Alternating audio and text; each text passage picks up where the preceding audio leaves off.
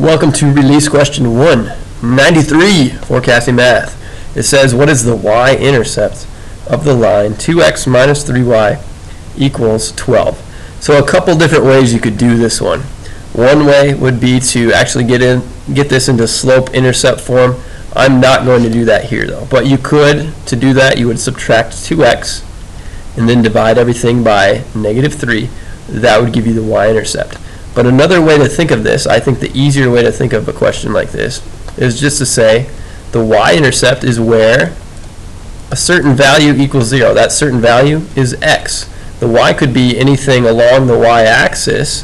If you have a graph, think of x-axis, y-axis. The y could be anything here, but the x value would always be 0 along that y-axis. So the y-intercept, where it crosses the y-axis, in other words, that's always going to be where x equals 0. So that effectively eliminates choices C and D, because this is where y equals 0, but x is not 0.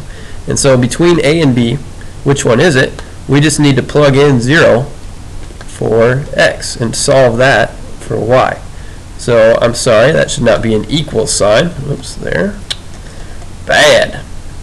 There we go, minus 3y equals 12. There we are.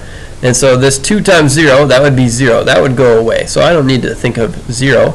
I can just say negative 3y equals 12. And if I divide both sides by negative 3, my answer would be hopefully readily apparent.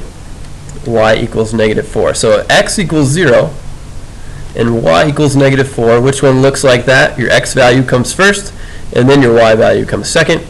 They go in alphabetical order 0, negative 4. Our answer should be choice A.